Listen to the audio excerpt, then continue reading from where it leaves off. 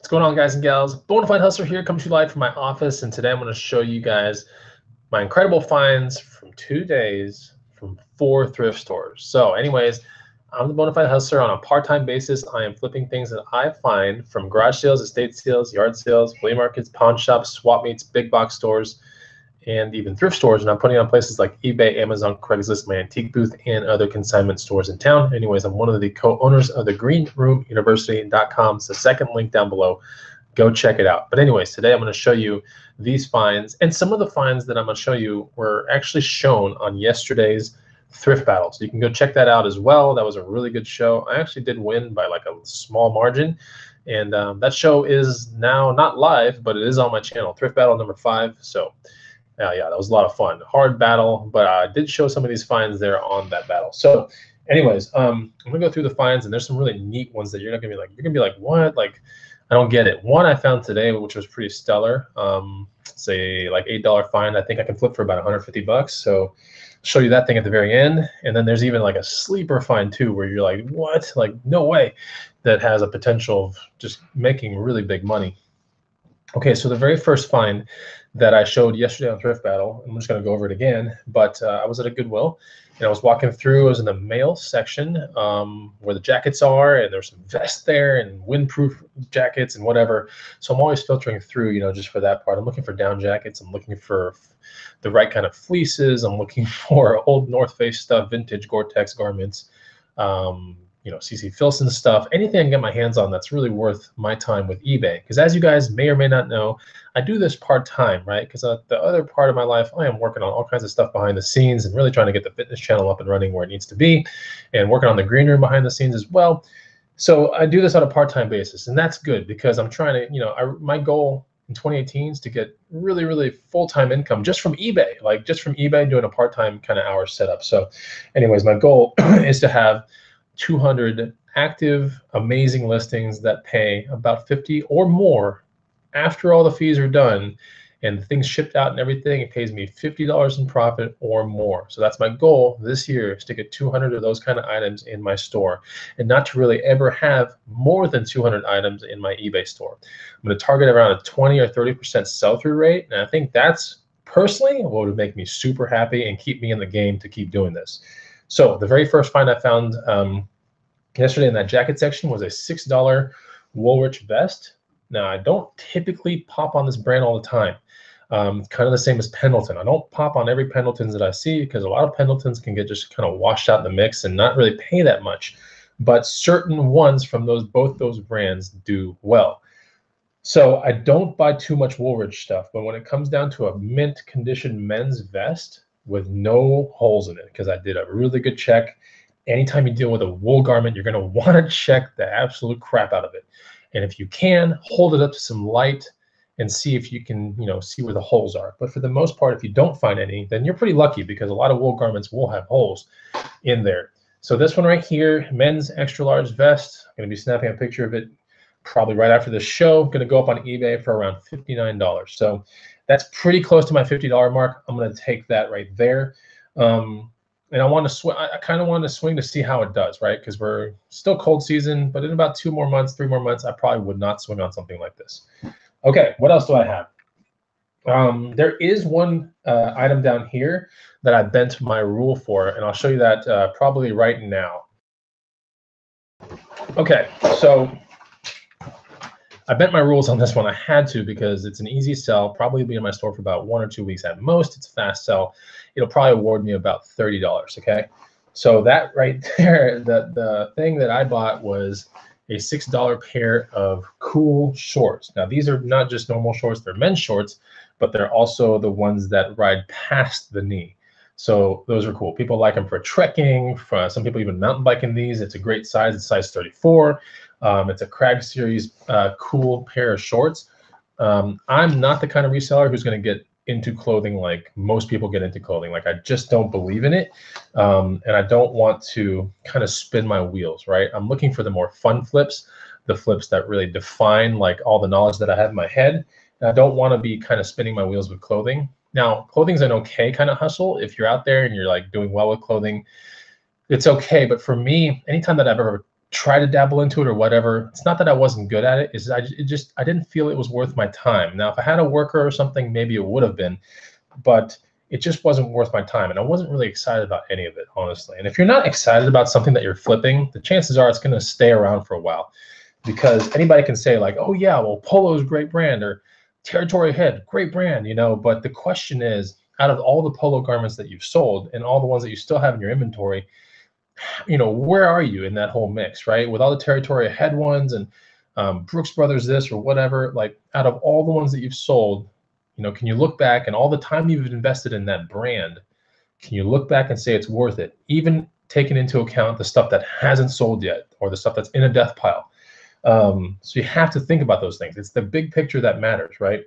Um, so anytime I think big picture, I'm like, all right, you know, this next thing I'm doing in 2018 is a big project, right? I, I want to stick with things that really make me happy, that I have a lot of energy behind, that I want to list, that I want to move out of the house, and uh, that won't stay around too uh, too much. Like maybe the six month mark is probably the, the that's my tail end of like what I want to keep something at. Anyways, Kuhl Crag series shorts are really good shorts. If you find any kind of Kuhl jeans or anything like that, I do have a pair of Kuhl pants that I found and sitting back there. You kind of see them.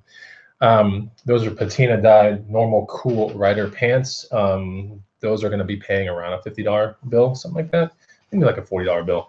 I bend my rules for a couple things, but not very many things. So this one I had to because I know one or two weeks this will be out of my store. First class rate too, which is even better. Um, so yeah, had to get that. I spent six dollars on them. They'll probably sell for around 39, about 45 bucks. So that's pretty good. I wanted to bend my rule just for this one right here.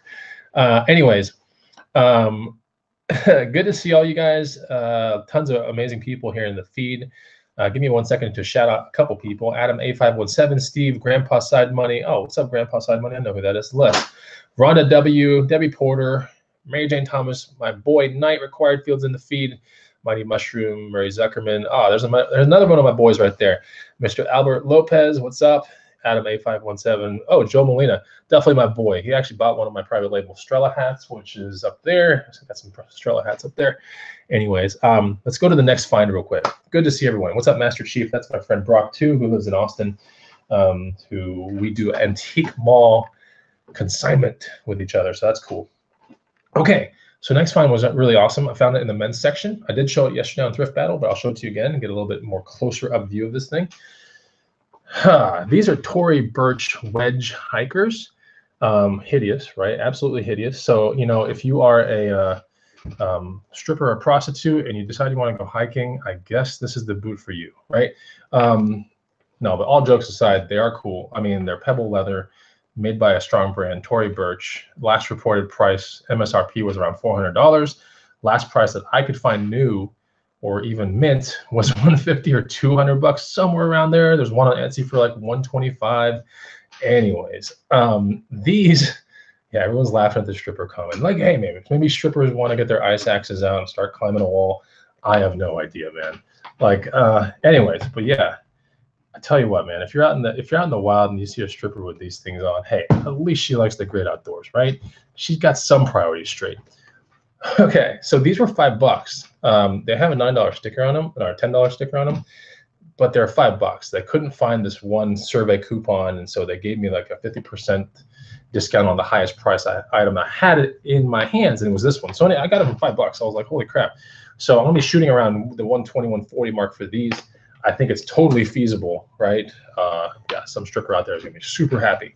So definitely got into those. I mean, they have like hardly anywhere. I mean, just some little bit of wear and tear. But if you look at the bottom of these things, right? I'm telling you, man, like these things are in really good condition. Plus, they got the little tassels right there. So you know, if you go to a party, uh, you definitely won't be the shy person in the corner if you have tassels on, right? Okay, I have a boot. I have some boots with tassels on them. I tell you what, man. When I go to places with them and get-togethers, man, people always talk about them. And I always think like, if I take the tassels off, like, what happens? Like, is it does the night just start sucking all of a sudden? I think the tassels really make a big difference. Okay, so something I'm trying out. Another find I want to show you guys. Shortly before, okay, so like earlier this week, what are we at? Thursday? So I think Monday this week, I was really thinking about incorporating this into my thrift strategy, and that is popping on really good golfing vest or golfing jackets, but not shirts, not pants. I don't want to get into clothing. I really do not want to get into clothing, but I will get into the right clothing. Just like I get into the clothing that's like outdoors based, or I get into like, uh, you know, really amazing jackets. Like, yeah, I'll get into that because those are sure sells and they got great markets. But other things that have sure sells and great markets are sometimes golf jackets, golfing vests, certain brands.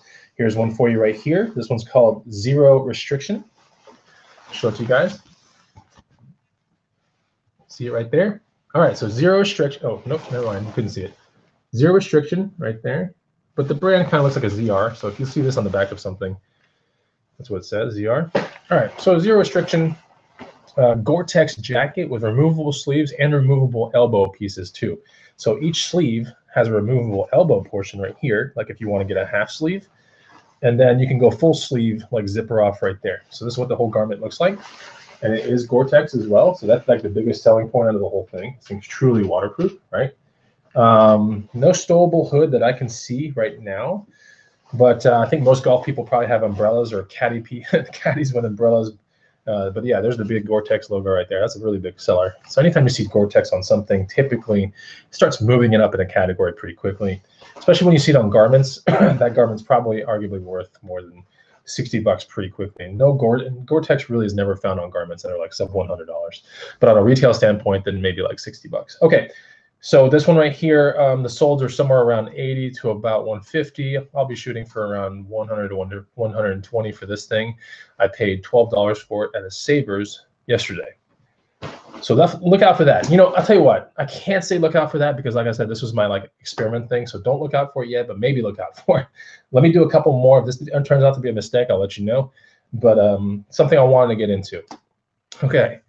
Uh, my name Mushroom says, like this video. That's right. Like this video, guys. I don't ask for too many things. So uh, hit the like button. Okay, next find. Really cool. We're getting, we're, we're starting to get closer to like the really, really good stuff. But this is pretty good. This was found yesterday. It was $25 and uh, extremely unsuspecting kind of thing that most people would probably never pick up. But me being a doppio connoisseur and a connoisseur of coffee, I kind of know about ex uh, expensive espresso machines and things like that. So um, if you ever go around like kind of ritzy malls and stuff like that, and you go to some of these places that have, I think one of the places is called like Sur la Table or Sur la Table, Table, something like that.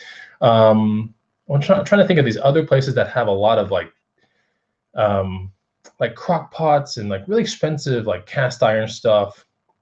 Williams Sonoma, uh, Sonoma or Sonoma, whatever it's called. Um, those kind of places, right? That have like a lot of cooking things. Uh, typically, somewhere in those kind of stores, there's going to be like an espresso display, uh, espresso machine display, and there they're going to have all kind of uh, accessories for these espresso machines, which are usually pretty big money. Like a good espresso machine, typically you would be thinking like, was it isn't a good espresso machine like hundred bucks? Like not really. In rich people terms, a good espresso machine somewhere around a thousand to about ten grand. I'm not even kidding. So you have to look up like you know bigger brands like some of DeLonghi, uh, Gaggia, Jura, um, there's a bunch of other ones, but for the most part, if you go into stores like that, you'll start memorizing some of the brands of some of these machines that are just like astronomically priced. But people with money love to buy quality things. Okay. And I'm not talking about some Krups or Krupp or whatever it's called. I'm not talking about a Black & Decker espresso machine. I'm talking about the real deal steel ones with gauges and frothing devices and you know milk coolers built into them and all kinds of crazy crazy bells and whistles um, and they look really neat too. So it's like a piece that looks good. It's not some cheap like toaster looking thing in the corner. It's a real deal machine sitting around like badass machine that you can make basically anything that's coffee related out of. So anyways, um, yeah, some go up to 10 grand. I mean, the ones that you see at some of the coffee stores here in Austin, Texas, I know for a fact are between 20 and $30,000 for a multi-station uh, coffee machines. So yeah, some of these are crazy, made by like Simonelli or there are a bunch of other ones. But I mean, these are crazy machines They're expensive, man. They account for humidity when you make espresso. They do all kinds of crazy things. Um, but when someone wants the like the highest grade, you know, coffee or bean or squeeze or whatever, I mean, you have to have the machine that can deliver that. Anyway, so I go to stores like that, right? When I'm bored or if my wife wants to go shopping one of those stores, like I don't shop.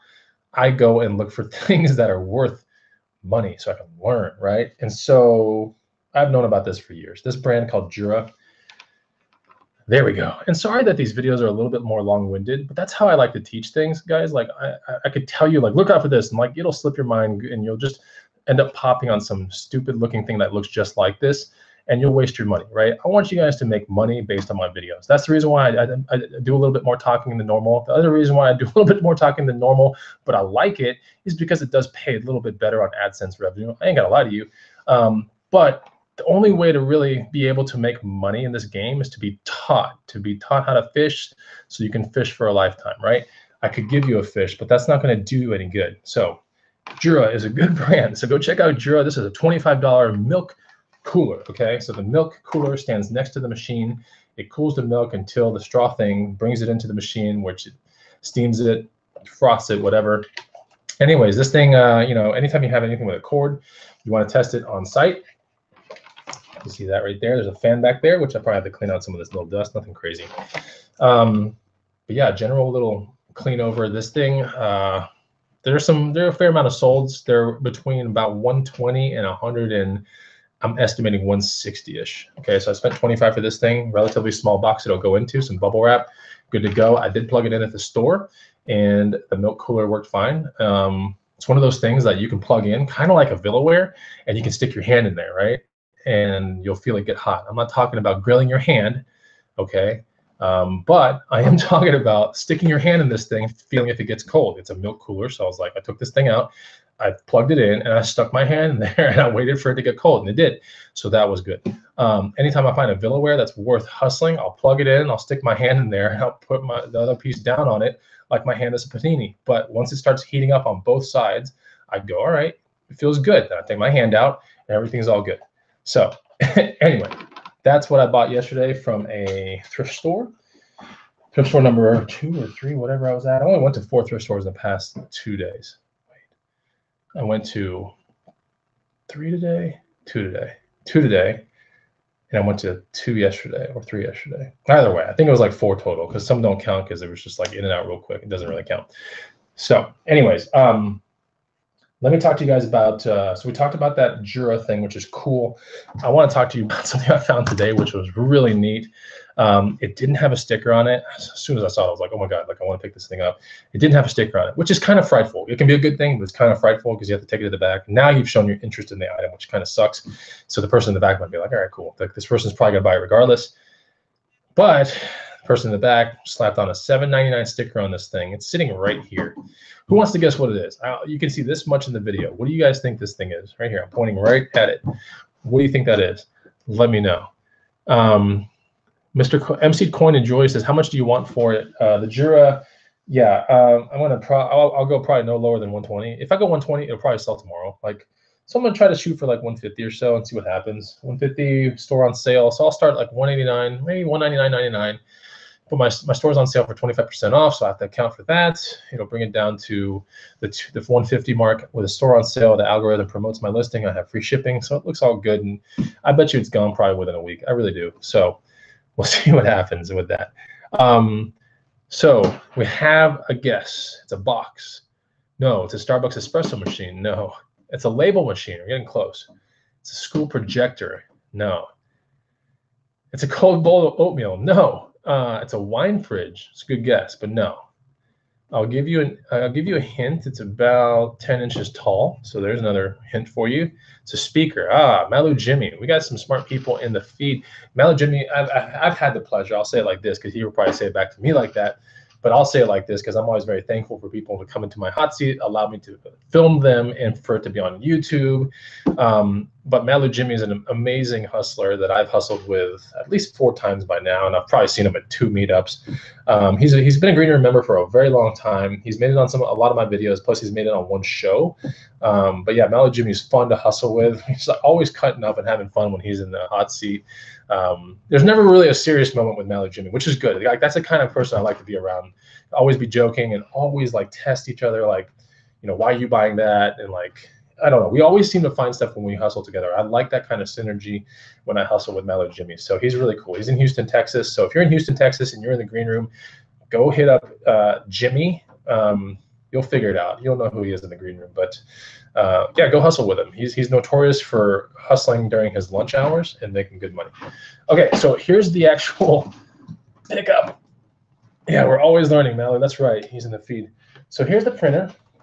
Now, one thing you might notice, and this is the only reason I really started to look at this thing immediately, is the size of this thing. Okay, the size of this thing is gigantic, and that's exactly what I saw the second. This will probably be the sixth one I've ever flipped. Um, the very first one I flipped, I forgot. Okay, so basically, like this is, I'll kind of give you like the breakdown of like all the things that I've done with these. But this one, and I'll, I'll give credit to Eric Spears, the college picker. He was the one that kind of started me into this kind of genre of printers. But this is a large format printer, always also known as a wide format printer. Large format printer, usually for making photos. Uh, sometimes really large format printers can do blueprints and things like that. Uh, art, art, for but for the most part, it's photos and big photos. So this is an Epson Photo 1400. An Epson, four, Epson Photo 1400 is a little bit on the lower side of the wide format ones.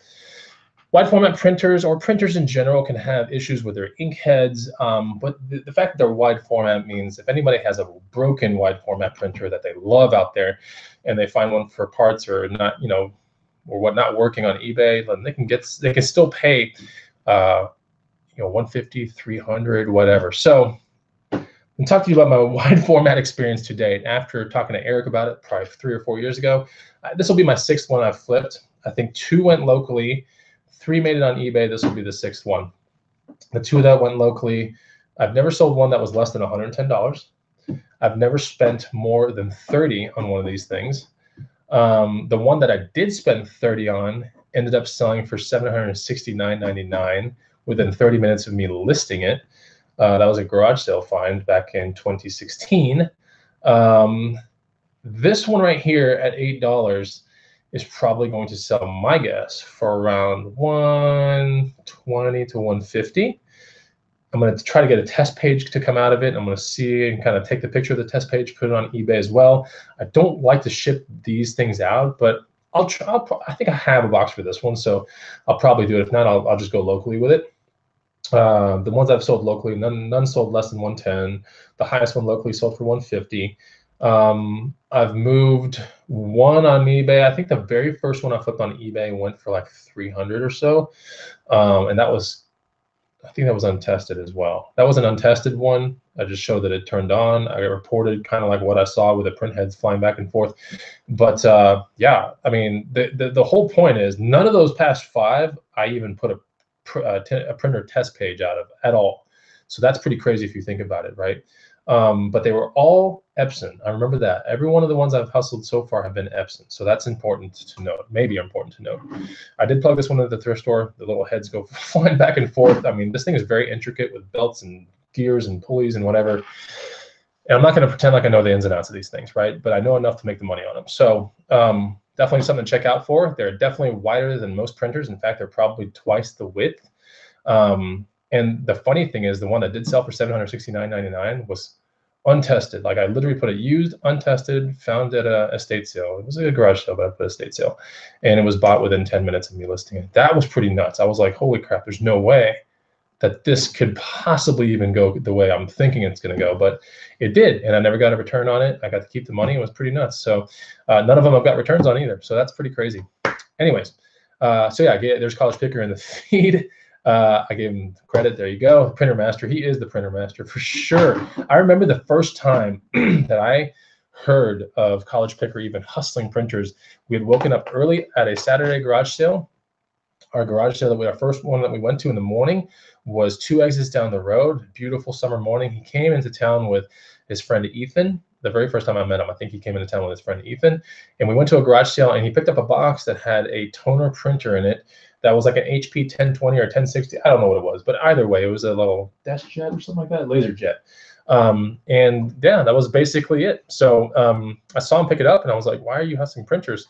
I thought those were kind of garbage, you know, like don't offices just get rid of those things? But he knew what he was talking about he took that printer and he was in printer mode back then and he was doing all kinds of flips that were like what 20 to 100 20 to 50 20 to 80 and some were just even nuts like more nuts than that because sometimes people use these printers to alter ids with right or to print ids on. And so there's certain printers that he knows about that people can't get anymore. So the secondhand market's the only place to find these things. Um, anyways yeah uh, I thought it was pretty funny. And plus, he's also notorious for being printer guy because when the green room first uh, was created in the first year, he did put a printer bolo in there that plenty, uh, I wouldn't say plenty, but a fair amount of people in the green room were able to find it on Craigslist and flip it. I want to say on FBA or eBay. Um, I want to say it was a Mark II something 9000. Anyway, it was a uh, photo printer that there was just an arbitrage opportunity for about a year on this thing. And uh, there were a fair amount of people in the green room who found opportunity, who capitalized on it and made all this money on it. So I thought that was pretty funny. Um, Okay, so uh, yeah, I will try to definitely, this one definitely turn, turns on, everything seems to be working. I will do a test page to see if the printer heads are clogged. And if I can't interpret that, I will take a picture of the test of what the page shows and I will put it on eBay. And usually people that flip these or rebuild them or whatever are gonna know exactly by the test page what is going on with that printer typically. Okay, so uh, that's that. Now, I promised you that there was something else and I'm gonna be fair with you guys on this one because I don't know anything about this, okay? But I know for five bucks that I have to get it. If not, it's a really amazing decoration. So what do you guys think it is real quick? Let me let me ask you this real quick. 100 viewers in the house. Oh my God. I'll ask you guys two things real quick. What is the next item I'm going to talk about? Um, it's something I never get into. And then the second thing is I don't ask for much. Hit the like button on the video. That would be super, super rad. So let us guess what the next find is. Yeah, it's something you'll never, never think of me actually doing. But it's a $5 find. I found it last week. I should have shown it on some of the other videos, but I should have actually pulled it out Thrift Battle. That sounds really perverted. But I should have just shown it on Thrift Battle because that would have just destroyed the whole thing. But um, I still won by a small margin. But if I brought this item out, that would have been game over. The whole thing would have been skewed. Uh, people would have been like, damn, like that's a pretty big hustle. So here are the guesses that are coming through a horn, a monkey skull, purses, chandelier, puppy, breast pump, woman's purse, bras, dress, a giant tuna. Oh man, someone watches my videos. Margaritaville. Oh, that's good. That's a big one. Um, it is pretty big. Uh, this thing that I want to show you. A live, laugh, and love sign. No, it's not that. Oh, I hate those things. Um, a pair of women's shoes, a musket. Oh, so someone did watch some of my other videos. I did actually hustle a gun, a working prop gun from a garage sale for a dollar. Um, and I remember cocking it on the actual broadcast live, and I didn't know it was live until later when I was researching it. And I was doing all like the serial numbers and everything, and it was like this is a real firing blunderbuss type thing. And I was like, oh, flintlock pistol. That's what it was called a real one. And I had never looked in the barrel, no nothing. There was flint on the lock and everything, and I was like flicking around with it, being stupid. I couldn't believe it. So, um, yeah, that's pretty interesting. I could not. That one actually listed on armslist.com. I had to list that on a gun site because eBay wouldn't take it. Um, okay, so neon sign. These are all great, great uh, guesses. Okay, you're not gonna believe it. It's actually sitting right behind me. It's up against the wall right here. This was five dollars. Okay, so check this thing out. Yeah. I got that for five bucks. Now you might be thinking, what the hell? It's kind of cool. What is it? I think I know what, what I'm looking at. It's clearly a race car. So for five bucks, or I might even been less. It was so cheap. I could not believe it. Um, so this thing right here is actually a oil canvas painting. Or it's a canvas back, like it's oil painting. It's an oil painting on canvas. Um, it's in great condition, no rips, tears, stains, weird things, odors. Um, on the back, it has the painter's name. Thank God, because like if it didn't have the painter's name, it'd be tough to figure it out. And to make things even kind of crazier, the thing you can't really see it, but in the top corner, right around here, there is. In fact, I will actually get up and show you this thing. Right. So here is this painting I got, and there's a signature, dude. A signature that says I don't know if it's Bobby Rahal or something like that, but I know it's someone sort of popular. And I can see the Rahal part, right? And a Rahal person, I think there were two of them, and they were F1 drivers back in the late 2000s. I did a little bit of research, but it's essentially an F1 commemorative painting or whatever made by a guy in Austin, Texas. So they have to be commissioned. He doesn't just paint them, he commissions, well, he does commission paintings um, and he paints certain things, but his going rate for an oil on canvas just to get one going is a grand. Now, I'm not saying this is going to sell for a grand, no way. But with it signed and everything like that, it's a tough one. I don't know what to do with it. I think I'm going to take it to a gallery, consignment kind of thing. Um, I don't know what else to do with it. Um, but yeah, I know it's definitely signed by one of the Rahal people for sure. Um, Tom Sawyer says, "Dude, that thing's worth some major money." I looked up the guy's site that commit that builds these things, and it says like a what did it say? Like the smallest oil painting that he does is a G. Is a thousand dollars for him to paint it. So this one definitely doesn't seem small to me. It's pretty big. Uh, this probably is a 36. I have no idea. 24 by 36. So yeah, um, it's cool looking. I like it. I was frantically searching around the rest of the savers for another one because typically someone that donates something like this will donate something else and make another bad decision. but the fact that signature's on there too, because we are in Austin, Texas, and we are the only F1 track in America is actually in this town. So you would think it's in California or something, but it's not. So we have the only F1 track in America here, and the other ones are you know scattered across the world. So maybe that's how he got this Rahal person to sign it. I don't know. It's a good you know who knows. But uh, if someone knows that signature, let me know. It looks like a Sal or a Bobby. I don't know. It looks like a Sal Rahal, but I looked up Sal Rahal and I couldn't figure it out. So, anyways, um, Bobby Rahal says won the Indy 500 in 1986. There's the son of the Bobby Rahal kind of thing. I know there's a son, so maybe it's that. It does look like an S or something right there, and you can kind of maybe you can kind of help me out. But uh, yeah, you can see the signature right there. See, there it is.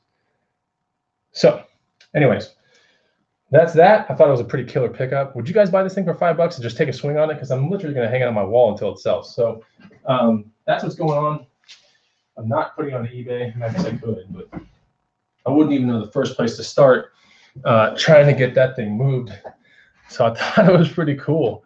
That was definitely one of the most unsuspecting things. Um, what you know, what made me go into that one section of the store? I don't know. Like I just, oh, I know what it was. There was some IKEA ghetto linear print of like two GT40s going at it at some Le Mans race.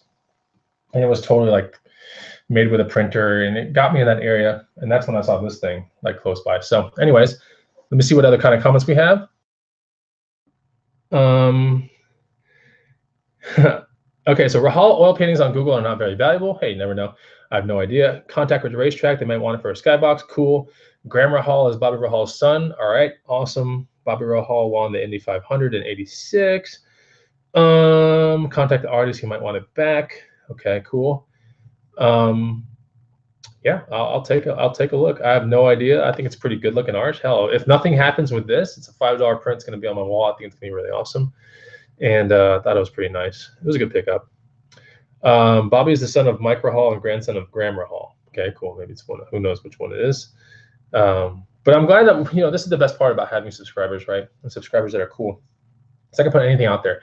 I could be like, look, guys, I'm about to get into jeans. I don't want to get into clothing, but I want to only hustle high-end jeans. Like you guys would totally help me out and just give me like the five best high-end jeans, for example, um, to go hustle. And that's one of the best parts of maybe my journey in YouTube is the fact that I built a lot of friends through this entire channel and a lot of people that would have my back when I guys when I need you guys, you know.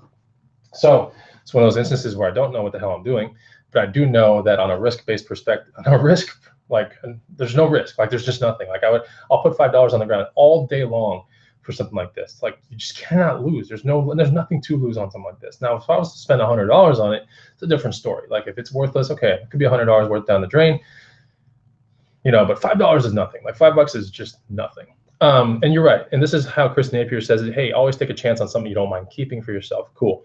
Um, worth a try for five bucks is Ron the W. So anyway, so that's pretty much it. I'm probably gonna list it, um, you know, locally. I think maybe taking it to an art gallery or something might help. I don't know. Maybe I will contact the person. But it, uh, you know, thanks for watching my video. I always seem to forget something to show you guys, or forget to show you guys some stuff. There's always something I forget to show. Um, I do actually have some FBA finds, some retail arbitrage stuff over there. I can't show you that because you guys will probably tank the market and destroy me. But for the most part, I can show you just about everything else. So, hey, if you guys are down with the road to 200 thing on eBay, let me know because it looks like me and College Picker are definitely adopting this uh, mentality of having 200 amazing items in an eBay store or just making that like the big primary 2018 goal is to really look at the inventory on a um, fun based perspective and go, look, what do I not care about anymore? Don't pick up any more of that stuff. Only pick up things that you care about. Only pick up things that are $50 and more in return, with a couple exceptions. And uh, yeah, just have fun with it. Most important thing is have fun with it. So if you're a person out there has 500 items in your eBay store, 700, and maybe get knocked, you know, left and right with relist fees, and you know you're not selling much, but like four items a week, or like you're getting trickle sales, and you're not happy with it because you feel like you're spinning your wheels then maybe adopt this road to 200 thing. And if it's something that interests you, right, and you want to see more of it, the more comments I get about it, the more people saying, yeah, you got to document that journey, the more I will, right? But if I don't hear many people talking about it or whatever, then I probably won't talk too much about it either, but I'll just do it. So if you guys are interested in that whole kind of thing, let me know. All right. So that's pretty much it, guys. Um, thanks for watching my video, and uh, I will see you on the next Bonafide Hustler broadcast. You guys know where to find me if you have any questions. Bonafide Hustler Facebook, shoot me whatever you want. I'll see if I can respond to it in a decent amount of time. Take it easy, guys.